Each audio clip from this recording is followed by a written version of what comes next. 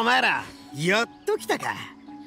結構長い間あいつらを追いかけてたんだが結局一人も見当たらなかったから先に戻っちまってたぜ。どうだ？お前らの方はなんか収穫はあったのか？えっとあったと言うべきかなかったと言うべきか。そうかそうか。お前らも奴らを見失っちまったんだなだが大丈夫だ。俺様は新しいプランを思いついたからなどんなプランなんだ？忍のやつがリーウェで勉強して帰ってきた時あることわざを教えてくれた記憶がある、えー、確か何かの虫が伺い。何かの鳥が後ろにいる。的な。そうそれだお前も忍から聞いたか？前回俺様は人を脅かすことに夢中になるあまり逆にあの人をたぶらかしてた連中に脅かされちまった。今回俺様はまず近くで状況を見てあいつら3人が出てたら俺様の方から奇襲をかけるつもりだぜ。まあお前らの方はとりあえず前回と同じく安心して肝試し大会に参加すりゃいい。じゃあまた後でなあいつまたいきなりどっか行っちゃったぜ。でもあいつの計画は確かにいいかもな。オイラたちの方も巫女のお姉さんのところに行って肝試し大会の2回戦に参加しようぜ。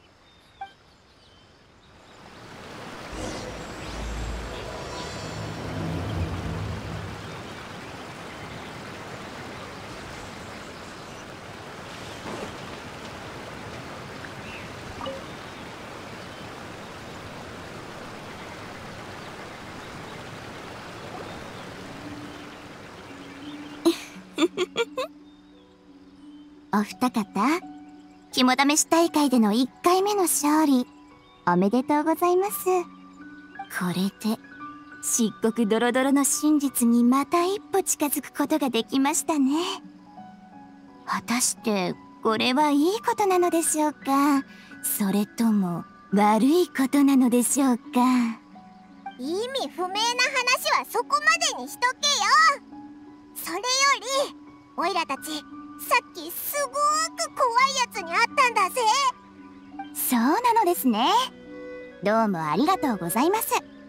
肝試し大会の主催側にとってすごく怖いという嘆きのお言葉はある種の褒め言葉ですので。そうじゃないぞ。この肝試し大会に何かおかしなやつが紛れ込んでるって言ってるんだ。そのことで何か不都合でも？肝試し大会にまつわる話はあなたたちも聞いたことがあるはずですよね。肝試し大会に参加する全ての人の気持ちはとても複雑なものです。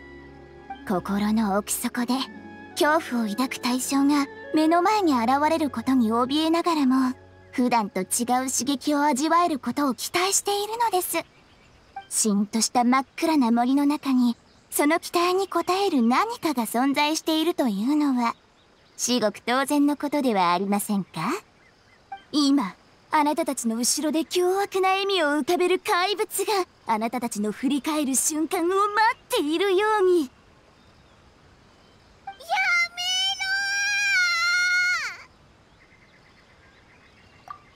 めろ！さすがですね。この程度の話ではあなたを脅かすには物足りないようです。また小さな試練を乗り越えられましたね。おめでとうございます。肝試し大会の第2回戦は間もなく開始します。お相手の方はいかがですか？あれオイラたちすでに。確かに前回。あなたたちは素晴らしいご活躍で勝利されましたそのままの組で勝負したいというお気持ちも理解できます。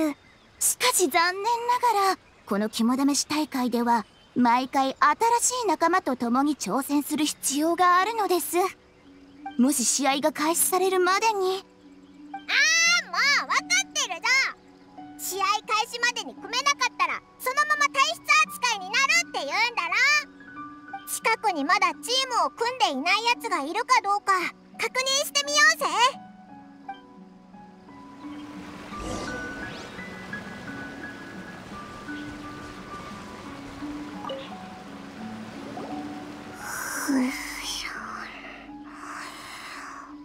あ見つかっちゃった。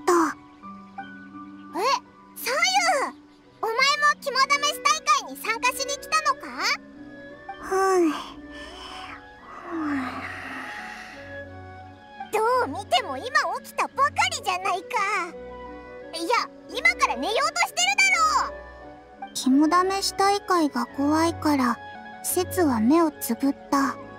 そうすれば怖くなくなる。でも目をつぶると寝入ってしまう。前回はいきなり飛び出してきた牛の頭の大きな魔物にびっくりして慌てて木の後ろに隠れた。目をつぶってしばらく隠れるつもりだったがあんまり暗いからうっかり寝てしまった。目が覚めたのは試合が終わった後だった。牛の頭をした大きな魔物って牛尾のことか。そしたら2周目で節とチームを組んでくれる人がいなくなった。それはかわいそうだな。おちょっと待てよ。そういえばさよはなんで肝試し大会に参加しに来たんだよ。驚くと背が伸びると聞いたから。どんな方法だよ。どう聞いても怪しいぞ。本当かどうか説もわからない。でも背が伸びると聞いたからには試してみたい。さよはまだ相手がいないんだろう。どうする？さよと組むか？うん大丈夫。そもそもこれは説のことだから。説は頑張って恐怖を。そして眠気を克服するぞ。でももし説と組みたくなったらいつでも声をかけてくれ。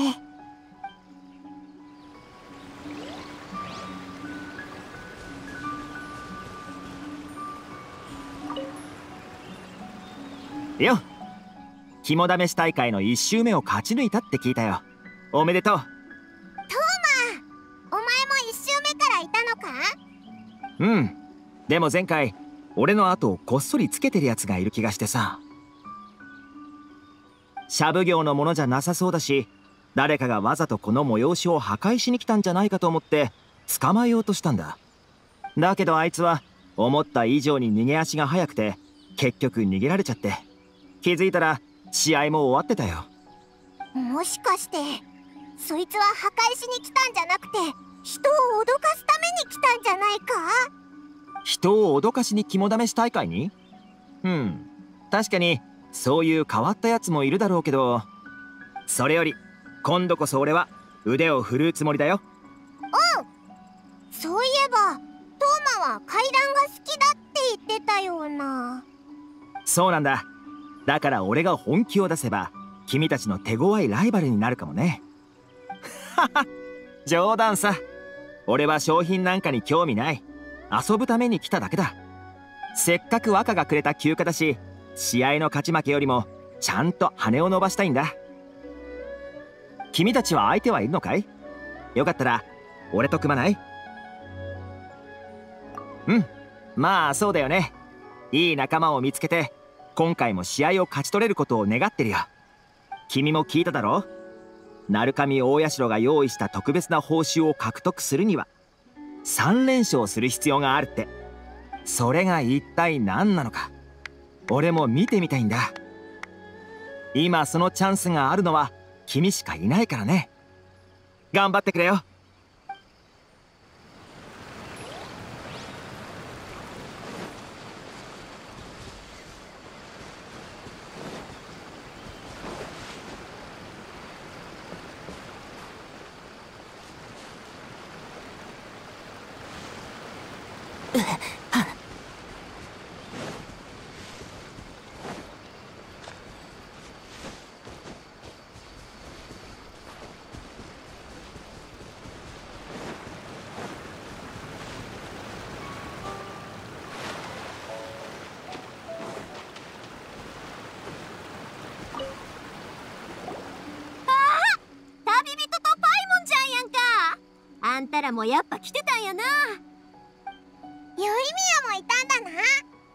うちのことやったら前回からとっくに参加してたで。まあちょっと回るんが早かったからそれで会えへんかったんかもしれへんな。第1回戦で勝ったんはあんたらやって聞いたで。めっちゃすごいやんか。うちも最後の最後団子牛乳の隠し場所は見つけたんやけどな。一歩遅かったわ。実はどうやって見つけたのかはオイラもよく分かってないんだこいつの後ろにずっと隠れてたらいつの間にか勝ってたんだぜ。へえあんた見かけによらず肝試し大会の達人やねんな。そういうことやったらうちと組まへん？うちらが力合わせたら次も絶対楽に勝てるやろ。えん？よ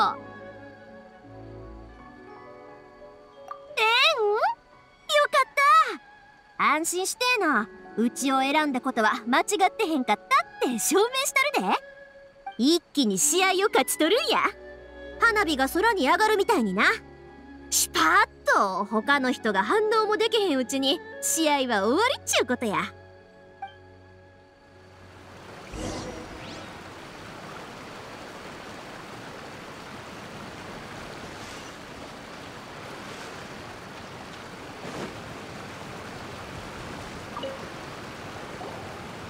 どうやらお相手が見つかったようですね。今回も引き続き幸運に恵まれるのでしょうか。もちろん勝利そのものが幸運であるかどうかは考えものですが。とにかく今回探してきてほしいものを発表しますね。その名も扇です。扇っていうとオイラも知ってるあの扇子のことか？シャブ業の当主自らお選びになった扇は今鎮守の森のとある場所で静かに眠っています。さて導きの準備はすでに整いました。しかし森に潜む暗闇も迫ってきています。持ちこたえられそうにない時は諦めるのが一命を取り留めるための道かもしれませんよ。諦めたりなんかしないぞ。さあ出発だ。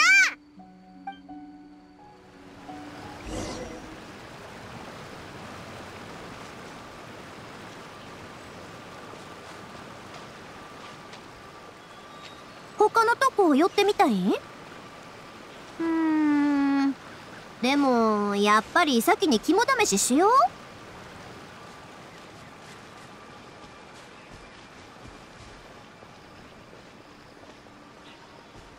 何か落ちてきたぞ早くどっかやってくれほんまにしてみ？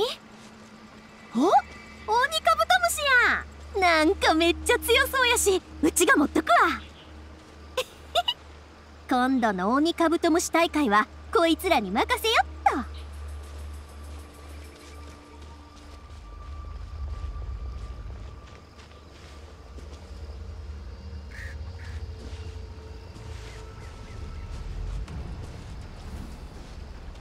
と。おかしいなパイモンちゃんはなんでスミレ売りになってしもたん？おいオイラはここだぞ。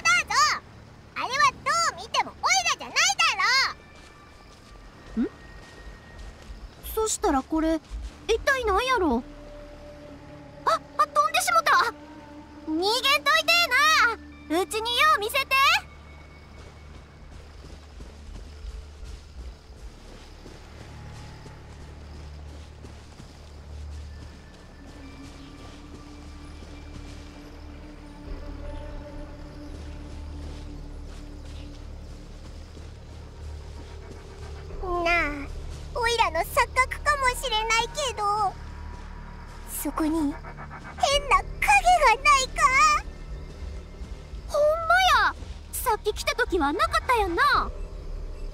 誰もおらへんのに影がある。これってほんまの階段なんちゃう？見に行ってみような。ややめとけって。オイラ心臓が飛び出しそうになったぞ。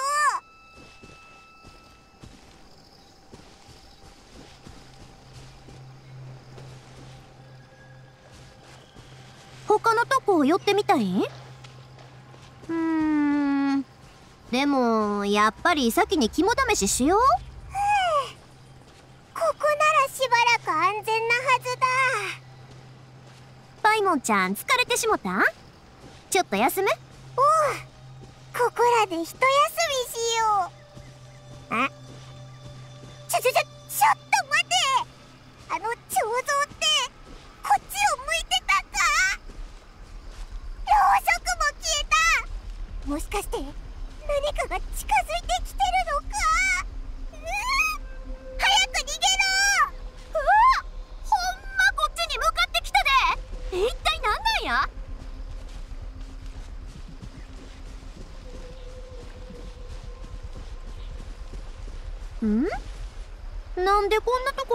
こに屋台があるんやろ。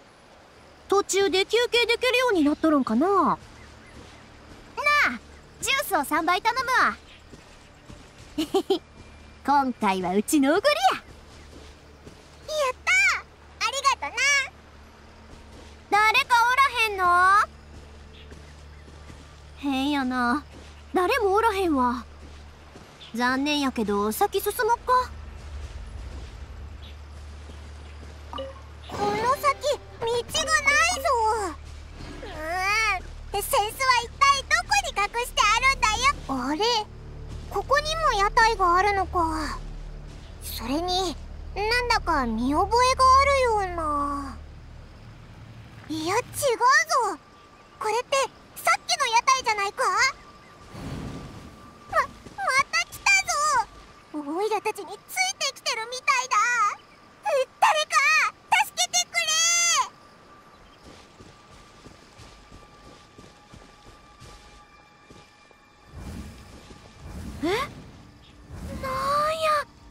ちょうちんがぎょうさんあるで。綺麗やな。でもよう見たらちょうちんが空中に浮かんどるように見えるで。一体どういう仕組みなんやろ。どう見てもおかしいだろ。ちょっと肩借りたらあかん？あんたの肩に乗って一針取ってみたいんや。今はそんなことしてる場合じゃない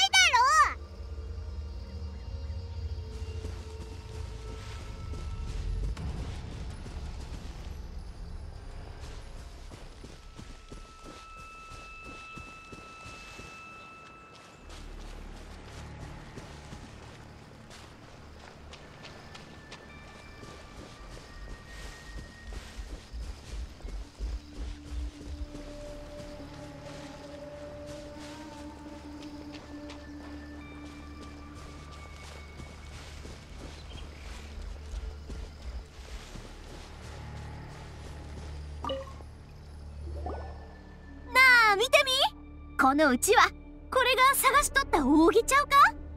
綺麗な模様が描かれとるわ。花火やろか。とにかく祭りの雰囲気って感じやわ。これが見つかったってことはうちらは今回の試合に勝ったっていうことやんな。これ持って戻ろう。うん。やっと終わった。イットはまだ怪しい奴らを追いかけてるのか？おいらなんだか心配だぞ。ちょっと探してみないか？なんか他に用事あるん？そうやったらうちが先にうちは持って帰っとこか。ありがとな。気にせんといて。あんたらと一緒に肝試し大会に参加できて楽しかったわ。またなんか楽しいことがあったらうちにも声かけてな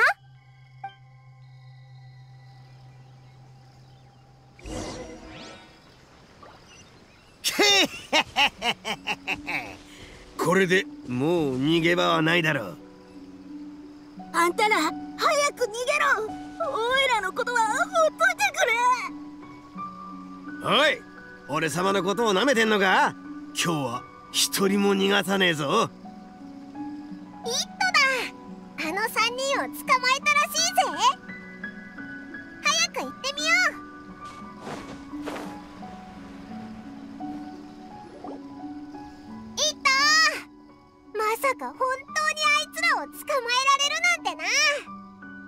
逃げろって言ったのに。どうして逃げなかったんだよ。何を言っておる。我らがそなたを放っておくわけがなかろう。もう何も言うな。そんなに食いたいなら僕たち3人をまとめて食うがいい。たたとえお前の腹の中に入ったって僕たちは屈しないからな。食べるだの食べないだのお前らは何かの美味しい食べ物が幽霊になったやつなのか？いっともなんでずっと黙ってるんだよ？うんこいつらなんか見覚えがあるんだよな。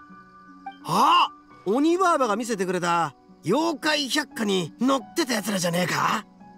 陽子とカッパそれに一つ目小僧だ。そうだろこいつら妖怪だぜ。ようやくわかったか？おいら一目見た時から分かってたぞ。あんたは鬼だよな。気性が荒く底知れぬ力の持ち主で見かける妖怪すべてを丸くこねて食ってしまうっていう鬼だ。そそんなデタラメな噂一体どこの誰が流しやがったんだ？それにお前らこそずっと人をたぶらかしやがって一体何の真似だ？俺様は見たぞ。お前らがこっそりこいつの後ろをついて回っていろんな変なものを出しながらこいつを脅かそうとしてたのをな。お前らの仕業だったのかよ。人を脅かすつもりはなかったんだ。おいらたちはただ、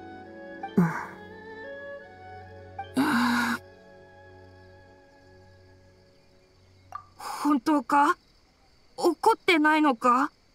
さっきは何回も脅かされたけどどうやらお前らもわざとやってたわけじゃなさそうだしな。とにかくまず理由を聞いてから許すかどうかは考えるぜ。実は我らは祭りを開催したいのだ。妖怪たちが主催し人も参加できる祭りを。あ映画言ってたやつだな。参戦花祭りか。その名前なら俺様にも馴染みがあるぜ。昔の大妖怪たちが開催した賑やかな祭りだったらしい。俺様の新たき極上生成合コ大祭典にも劣らねえほどにね。参戦花祭り。それは確かに我らの夢ではあるのだが実際我らの祭りがその名にふさわしいというには程遠いというのは百も承知なのだ。百鬼夜行の時代はもう戻らぬ。我らはただ山に住まうしがない妖怪だ。ご覧の通り我らにはほんの少しの揚力しか残っておらぬからちゃんとした祭りを開催するのは不可能なのだ。それでも我らはこの方法で人と接触したい。そして感謝の気持ちを伝えたい。感謝？そうだ。オイラたちは野外に住んでるからいろんな魔物から襲撃を受けちまうんだ。あいつらはオイラたちの縄張りに入ってきて大暴れした上食べ物を渡せって脅迫してくるんだ。時には殴られることもあった。オイラたちがようやく一息つけたのは人間の冒険者たちが野に入って魔物を追い払ってくれたおかげだったんだ。なるほどな人から恩を受けたからには力不足だとしても恩を返したいって考えるもんだよな。気を落とすことはねお前らも堂々とした男だぜ。ってことは砂浜の秋津遊芸はお前らが用意したものだったのか？そうだよ。遊んだ面白かった？伝説の中の秋津羽遊びを参考にして作ったんだ。たくさんの揚力を消耗してやっとのことで建てられた。揚力が残り少なくなったから森に屋台を置いてお祭りの雰囲気を盛り上げようとしたんだ。そなたたちにずっとついてたのはその反応を見たいからだったのだ。秋津遊芸ってそんなに大事なものなのか？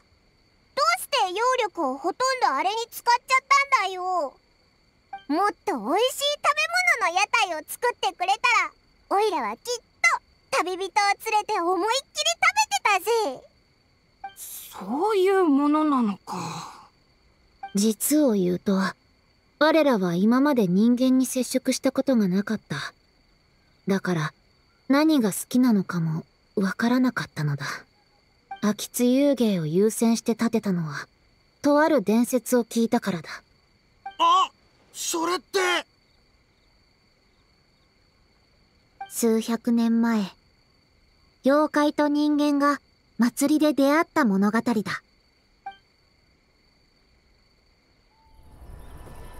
数百年前三千花祭りにとあるものの符が迷い込んだ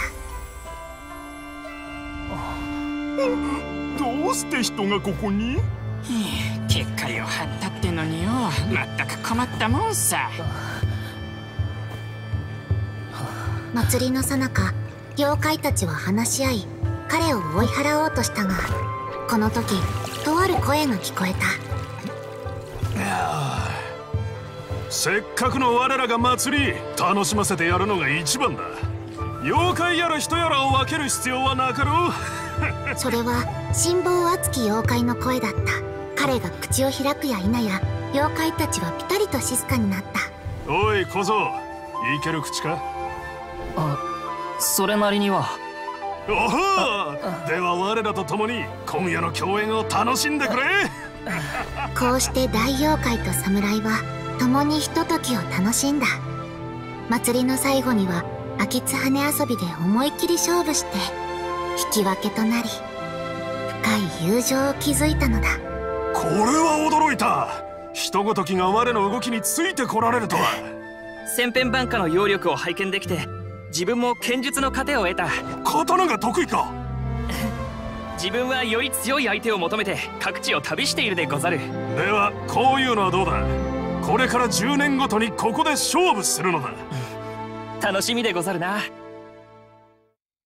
言い伝えによれば三千花祭りは参加者を思う存分楽しませて帰らせるもので秋津羽遊びは友情の印とされておった。だからこうして祭りをやろうという時すぐに秋津羽遊びを思いついたのだ。だが本物の秋津羽遊びはとうの昔に消えておる。我らは通りすがりの商人から話を聞いてあれを作った。それで名前を秋津遊芸に変えたのだ。あれは僕たちのせいじゃない。おいらたちもどこに問題があったのかさっぱりなんだ。先日我らは秋津遊芸を封鎖してどこが悪いのかしっかり調べた。だが結局何の問題も見つからんかった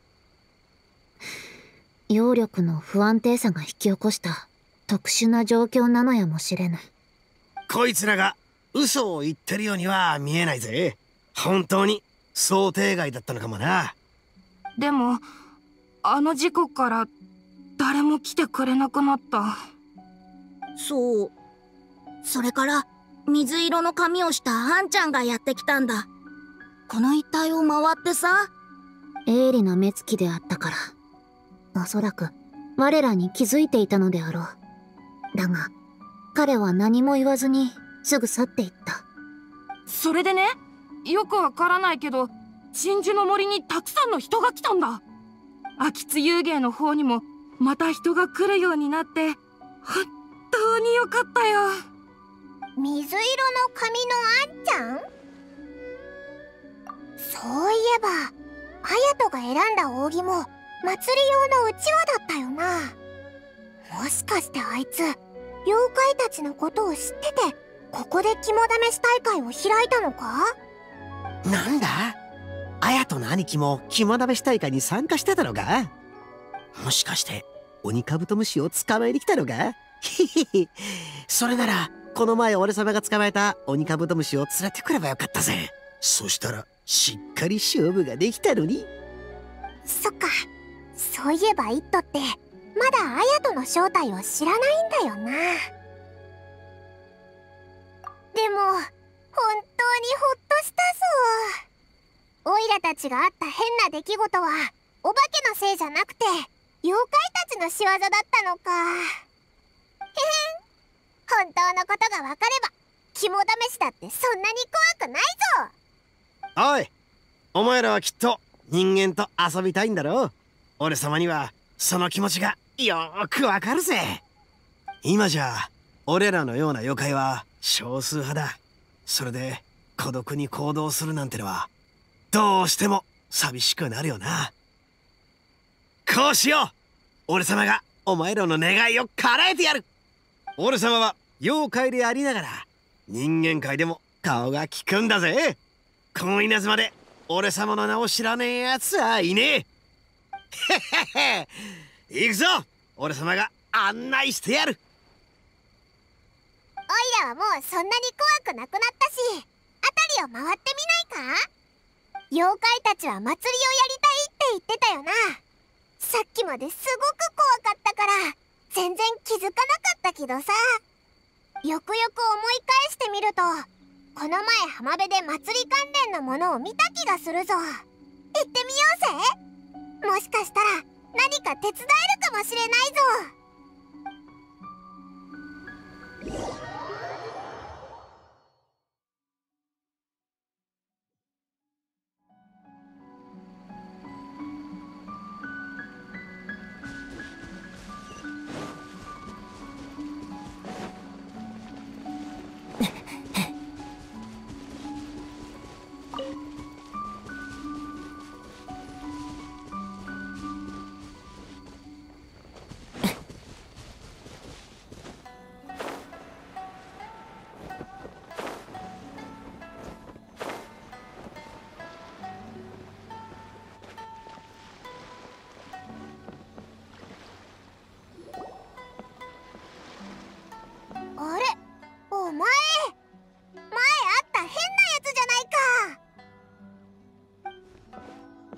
また君たち？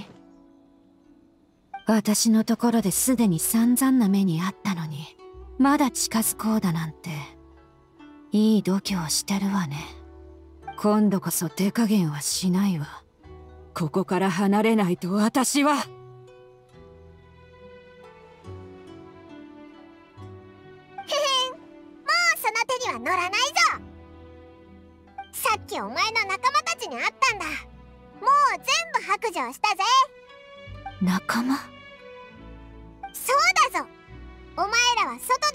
る妖怪たちなんだろ？おいらたちはさっき陽子と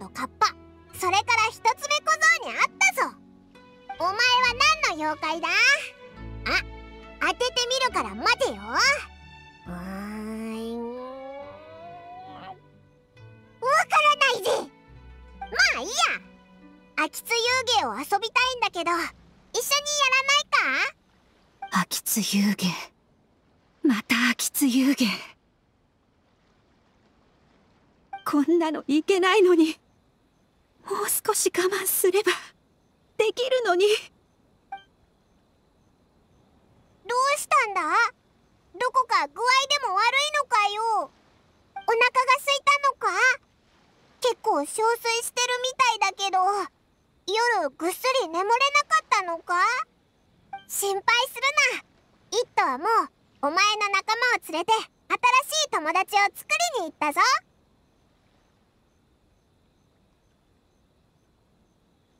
そうだぞ。何にも心配する必要はないんだ。ほら。空き巣遊芸をやろうぜどっちが早くできるか見てみようぜ勝った人は負けた人に一つだけ願いを叶えてもらうってことでどうだほら始めるぞ元気出していこうぜ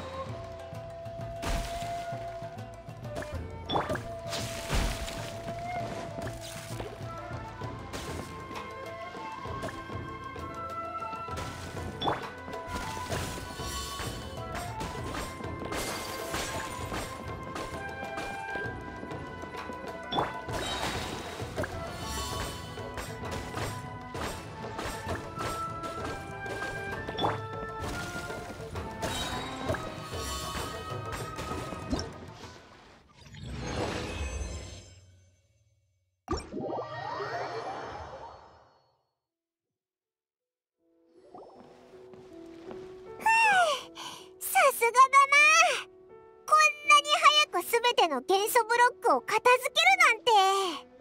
今回はもう勝ったも同然だぜ。ほらお前の番だぞ。いいわ。見てなさい。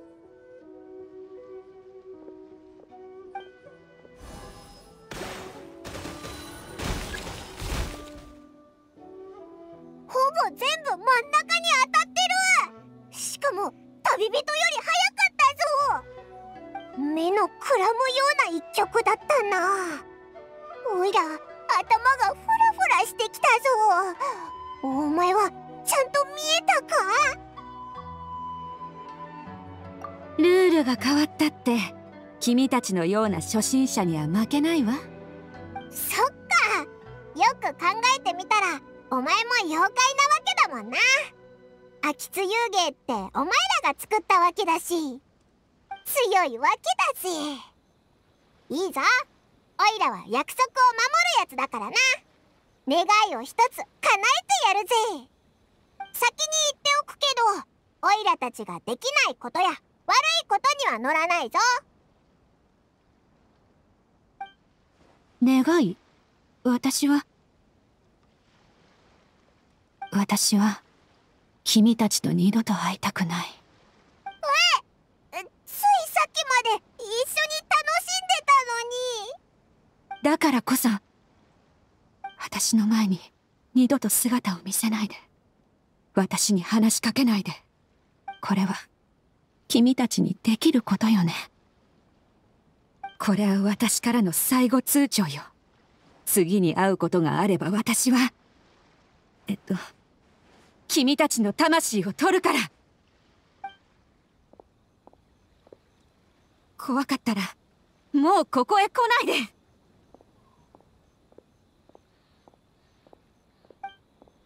えー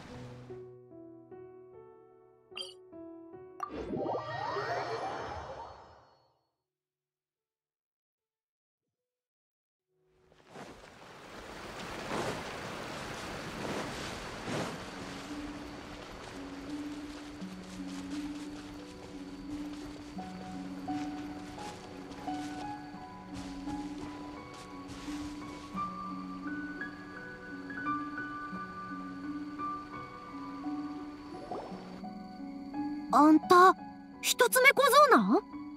そそうだ。緊張せんでええって。うちは長野原花火屋の宵宮や。あ昔すっごく遠い場所からだけど長野原の花火を見たことがあるよ。空で散っていくのがとても綺麗だった。ほんま？ほな約束しよう。また花火持って一緒に遊ぼな本当？ありがとう。それと失礼ですがこちらは楓原和葉様でしょうか？いかにも。様とつける必要などない。ただの司法をさまよう浪人でござる。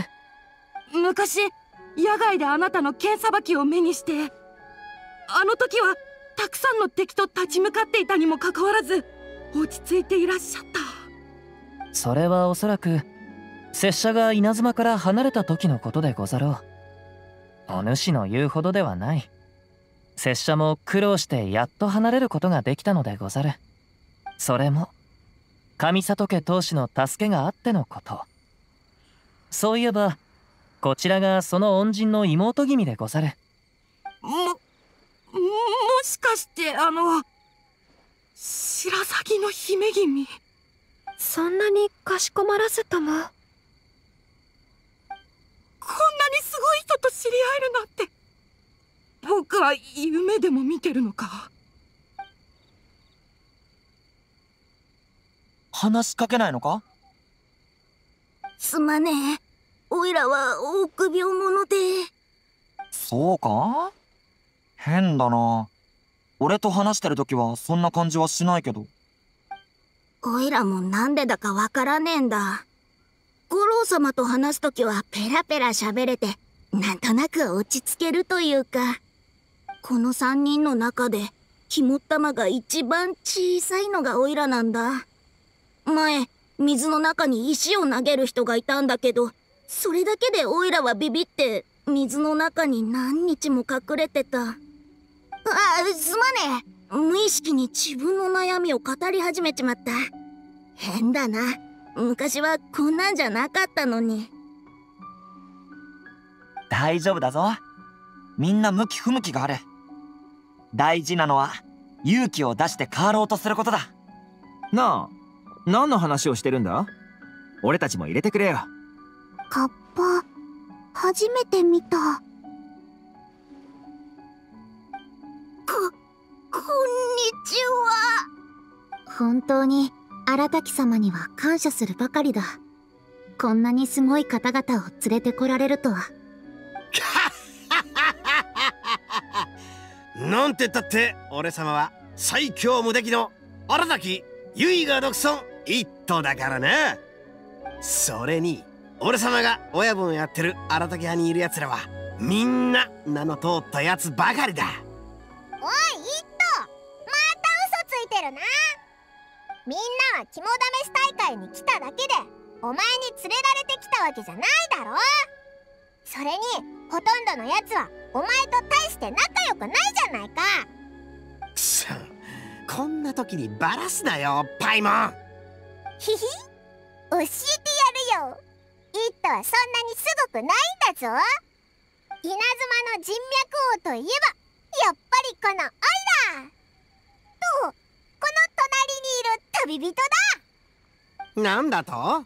誰の知り合いが一番多いか俺様と勝負してみるか？やるなら付き合うぞ。怖いことなんかあるもんか。5分お二人とも喧嘩はやめるのだ。私から見れば皆すごい人だ。しかも羨むほどの友情がある。それは釜井様とお侍様のような。それはもちろん。俺様の子分たちだ。まずい。俺様としたことが妖怪たちのことばかり気にしてこいつらをビビらせることを忘れてたぜ。親分 お前ら帰ってきたか。俺は親分ごめんなさい。はあ？親分の賢明な判断を疑ったなんて。肝試し大会マジで怖かった。幽霊。ここ絶対幽霊がいるって。今思い返しても震えが止まらない。でもこの刺激は確かに楽しくもあったな。ああえ、ええだから言っただろうお前らが信じなかっただけだほらほらもう怖がるな俺様からの種明かしだ本当はだなここに幽霊なんざ言えやしねえお前らが見た怖いもんは妖怪たちの仕業で単なる誤解なんだだよなうんそのすまぬがこのお三方は知らぬ。そなたたちがどこへ行き何を見たのかはわからぬが我らとは無関係なはず。あ？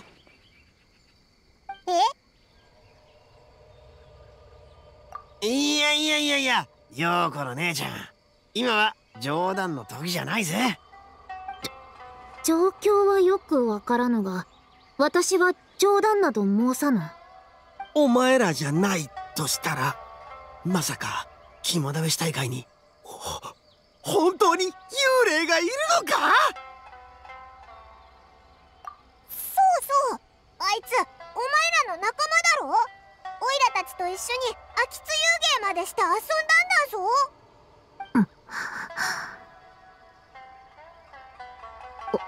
お二人が会ったという方は知らぬが今回祭りをやりたいと思ったのは我ら3人だけ。助けてくれ大家たち幽霊に会ったぞ助けて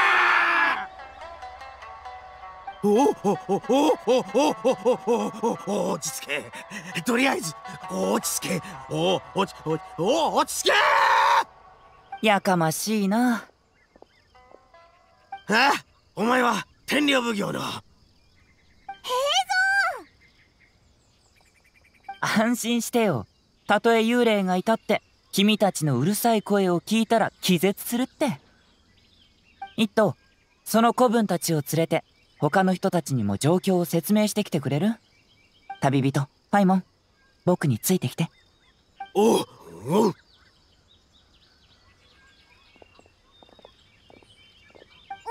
ったぞふう平蔵がいてくれればなんだかちょっとだけ安心だぜ。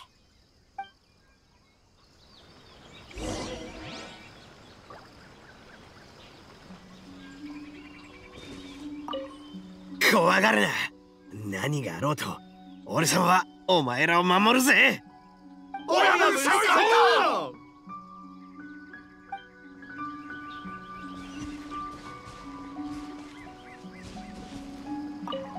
黙念黙唱常に静かで清らかであれ。新規のことは気にすることなかれ。ああ。これは三国宮様が虎の巻に書いた言葉なんだ。三国宮様はやましいところがないから恐れる必要はないと言ってた。三国宮様がここにいればよかったのに。彼女ならここで何が起こったのかすぐにはっきりさせられたはずだ。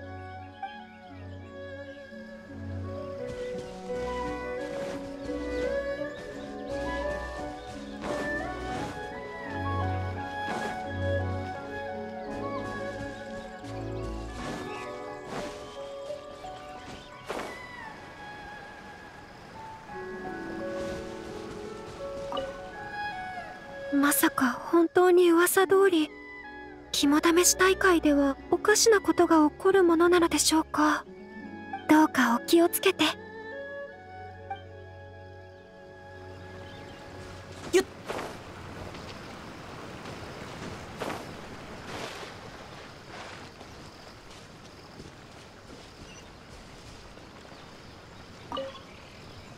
しー。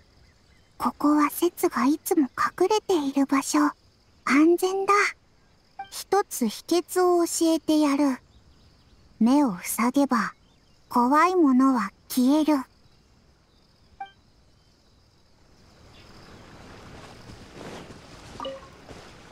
ほんまに幽霊が混ざり込んだ？うちも探すわ。まだ幽霊にはそんな会ったことないね。めっちゃ気になるわ。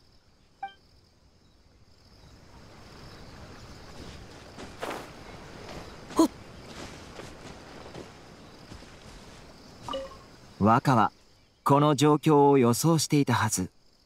俺は若を信頼している。しかしお嬢もまだここにいる。念のため早くはっきりさせないとな。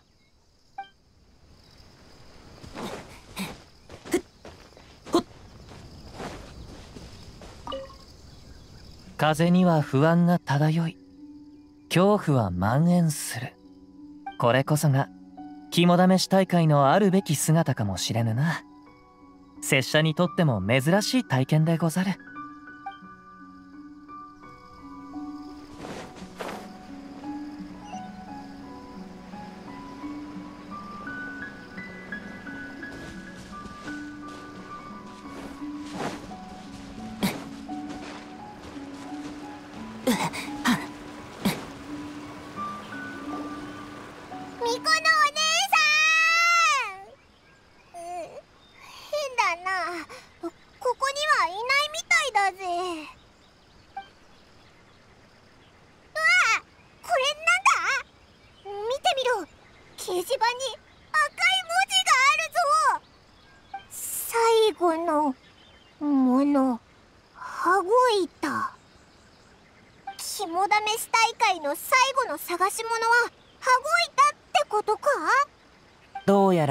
巫女は僕たちに3周目を完遂してほしいみたいだね。でも彼女は？ままさか幽霊に連れ去られたのか？次はまさかオイラだったりしないよな？お前と離れたくないよ。筆跡は乱雑だけど周りに抵抗した痕跡はない確かに変だね。それにしても字が少し多いな。3試合で使った3つのものはそれぞれ3つの勢力によって選ばれたものだと僕は考える。資金を支援した商人は団子牛乳を選び人手を提供したシャブ業はうちわを選んだ。そして羽子板は多分鳴神大社の人が選んだんだろうね。何か特別な意味があるのかな？意味なんて今はいいんだよ。それよりオイラたち本当に肝試し大会の3週目に参加するのか？そりゃ噂の豪華ご神物にも興味はあるけどオイラは安全の方が大事だと思うぞ。えっ、ー、と戦略的撤退っていうのはどうだ？僕はここに残るよ。依頼はまだ終わってないからね。未知は恐怖をもたらす。未知から真相を探すのが探偵の仕事ってこと。わかった。映像がそういうのを聞いたら確かにさっきよりは怖くなくなったぞ。うん。じゃあオイラたちも少し待ってみようぜ。もしかしたら巫女のお姉さんもたまたま用事があって離れただけでまたすぐ戻ってくるかもしれないしな。